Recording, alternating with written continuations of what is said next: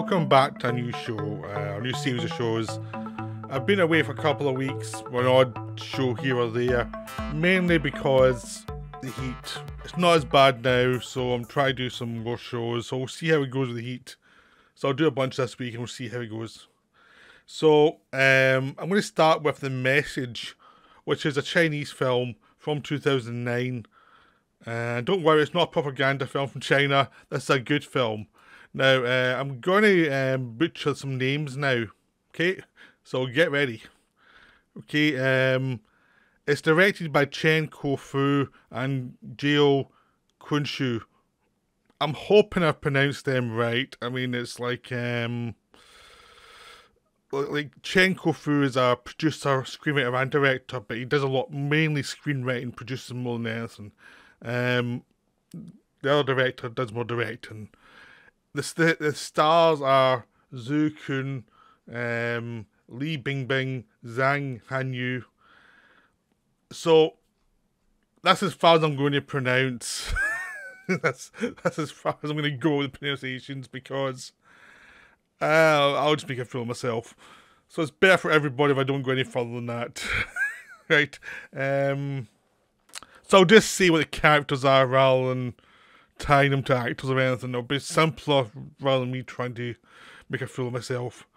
So the message is a is a spy thriller set during the uh, Japanese occupation of China, basically. And what's happening is there's a spy network of the resistance that's actually affecting the the Japanese. They are losing their war for, against the people, or they feel they are. They feel like they're, they're losing their grip because there's some spies inside that's actually making it much harder for them. And they want to find out who the spies are. They want to see, they want to stop the spy chain that's actually causing havoc for them, because it's caused some of their top people to be killed. And there's been organisations within their organisations actually plan all out because they know where these people are going to be, so they can tell assassins were to be to kill them. So they decide to set a trap. Now, the guy who sets all this up is a guy who's a, a Japanese officer who has been disgraced and he's trying to prove, before he gets sent back to the homeland, he's trying to prove himself and to at least be worthy for his family. So he's going to find out who this traitor is and he's going to set up a trap. So he get so he sets up something through the uh, chain of um, communication, and he managed to work out in which office the um, communication would have been intercepted and been used against them. So they bring the five main officers from that office to a castle and say, okay, one of you are a traitor, and we're going to find out who it is. And if we don't find out, we'll just kill all of you because we can't let this happen anymore. So we're going to have to find a way to deal with this so it's either you turn each other and find out who the traitor is, or we find out who the traitor is, or we kill you all. That's it. That's the setup, and that's a great suspense setup. I'm amazed it has been remade in um, in Hollywood with a different background, just having the same suspense setup because it's such a good suspense setup. So this officer, you can see behind me, he's manipulating everything, but he's not also not playing fair to his own people because he's um, pushed the situation ahead of what the, the even the Japanese want, but he's so determined he's going to save his name, his family name, because of various things that have happened in the past, and he wants to uh, clear his name and show his family to have some sort of dignity.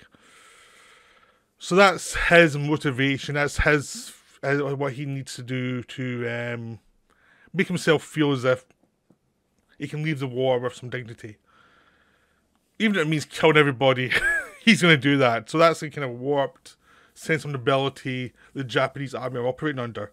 So that's what he's dealing with. So he has to try and push his agenda. But what you're really at is these five people. So you have two women who are both one's the lead um, person behind the translation, and one's the kind of assistant. And assistant's the one's a hard drinker who's the fun person who's, you know, the soul of the party, and the the lead translator is a bit more repressed. You've got a general, you've got a kind of captain who's a hero of the nation, and he's kind of not happy to be uh, dragged into this. You've got this gay um, guy who's a political guy, and he's like um, bitchy as hell. And you've got this old school kind of colonel sergeant who's just um, he he's just trying to set up the war in this office and hope for the best, hope he doesn't get shot. I mean that's what he's doing. He's got a family. He's just trying to survive the war the best he can. If it means being with the with the Japanese, he'll do it. But he's not exactly happy doing it. So there's, but everyone he's ready made his peace. Like he's giving up his dignity to survive, have his family survive. So these five people, and it's like, okay, who is the traitor among them? Who's the person who's um the one who's going to um snap and make mistakes and let you find out who's behind this hmm, this conspiracy? Well, it's complicated. It's really complicated, and that's what's good about this film is it's complicated. It's it's not simplistic at all, and the more you find out as you go along, the more engaging the film becomes because it's not just about finding who the person is; it's finding the motivation of the, pe- of the person who is behind it. It's finding out what they're about and finding out what's driving them. And it's complicated. And there's layers of complications throughout it because you don't quite know who, who who's been motivated to some degree and who's um, throwing other people as like you know cannon fodder so, so you, have got this a mind game going on. So that's an excellent film. I'm going into spoilers in a minute.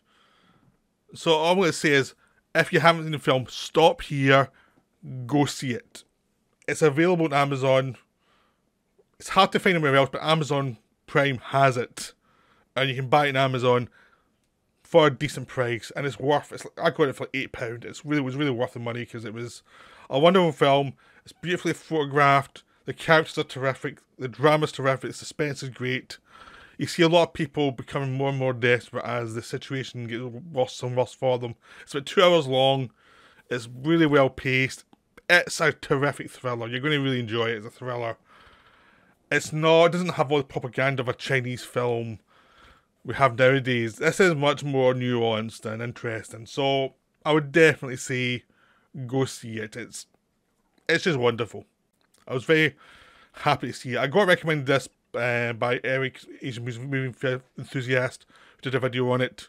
So that's why I wanted to see it. And it was really worth the time. So no any spoilers. So stop here if you haven't seen it and you know, go see it, then come back. Okay, the spoilers is start off, there's two spies in this group of five that's a big twist. Is is like um, they're looking for the person who would lead them to the main spy master. They think the person in this office is someone who will lead them to the main spy master called the Phantom. The Phantom's in that group as well. and basically they do a code between two the two spies through a through a song. So it lets both of them know okay, we're the people, we're the uh, spy masters here, and we have to find a way to get out. And basically, what's ha- actually happening is the the spy who's the woman who's in the decoding office, but it wasn't the main one. She was like the the lives with the party. She comes from a rich family, and she's trying to help the resistance, and she's going to sacrifice herself and get caught so that the spy master can get out. Now, there's a simple way to do it, which would have made people suspicious. So what she does is she sets up the, her own spy master to look guilty to start with, and then plants information so that they realize, so they think that they've actually um, made a mistake. So suddenly he looks furthermore in the clear, and it, she's a guilty one. which is a really brutal, brilliant twist in the film. It really works beautifully because you don't know any of this stuff until you get to it, and it's basically like, well, she really set this guy up. Because at this point, you know it's her. Halfway through the film, you figure out who the person is who's in the defensive and who's trying to avoid getting caught. And it's like, who's she going to set up to survive? So you think it's her versus a Japanese guy, but really it's her manipulating things so she can get her boss out so he can continue the resistance. There's also a message that has to get out to tell them that um, information the resistance have received is a setup so that they can so that they can catch them. So they have to get this information out as well.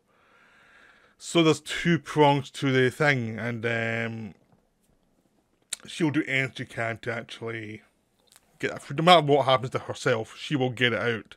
So it becomes a much more brutal film about the resistance and what it takes to be in the resistance. It's not just I'm in the resistance. It's this is much more like a French resistance movie f- about the forties, you know, where a lot of horrible stuff happened in France in the forties, and the resistance. If you're doing resistance, a good chance you're going to die. This is that same flavor of something like Army of Shadows or something like that, where it's like there's no sentimentality. A lot of people in resistance know they're dead before they start. They know they're in trouble. They're going to die.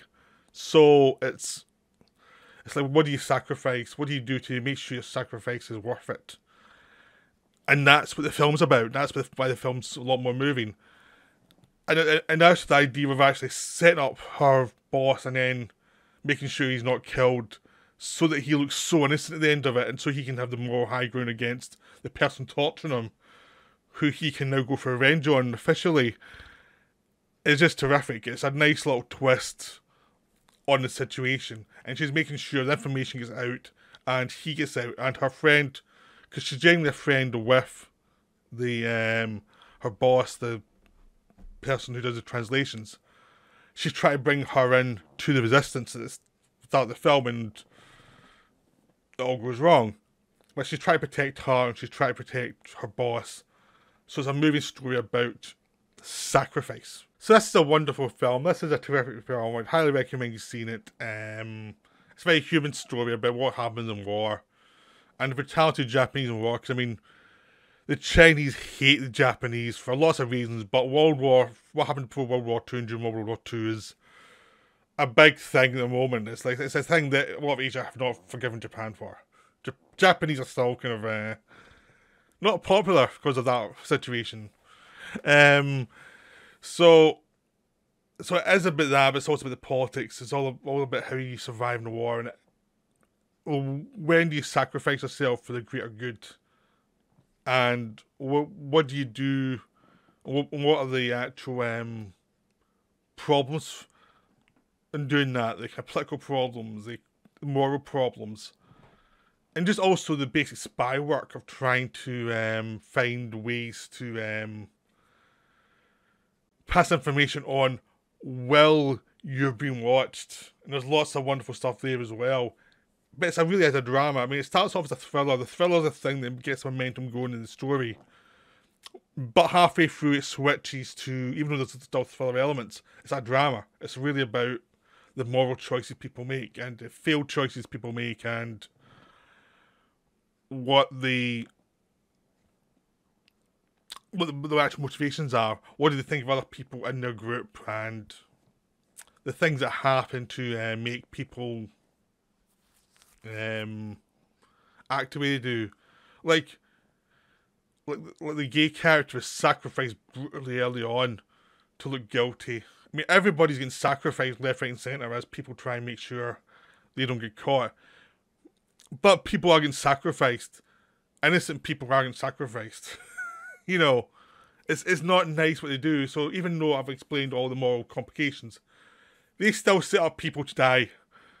So they're, they're not, you know, no, no, they're not pure driven snow.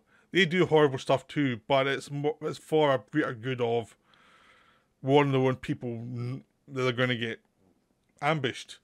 But it shows you, it shows you they can have complexity of the situation. You can't just do this and be morally pure. Uh, it's a war. It's not just games. It's a war, and you are going to compromise something in your soul during a war to get your agenda done. And that happens for the Japanese to the Chinese, everybody. And there's a there's a wonderful bit at the end where the where the Phantom guy has got out and he's free. So when no one's looking, he goes and takes out the Japanese officer, starts the whole thing up. So he didn't get away with it, and it's just it's just so satisfying that it's like, yeah, it's like this guy is out for revenge now. He's he's pissed about what happened to his people, what happened to innocent people because of the guy's ambitions. So it's a wonderful film. The message is wonderful, and it's just it's just such a good drama, and it just it's a, it's a nice surprise because you, you expect something like this would just become a thrill ride with no moral points to it, just just because of what's the what's the scare and what's the fear that's been added on that would happen in a lot of American thrillers. No, this is about the moral problems of the situation. It starts out as a thriller, but it becomes about the moral problems of the situation, which makes it much more interesting. So I hope you enjoyed this review, and I'll be back soon with another one.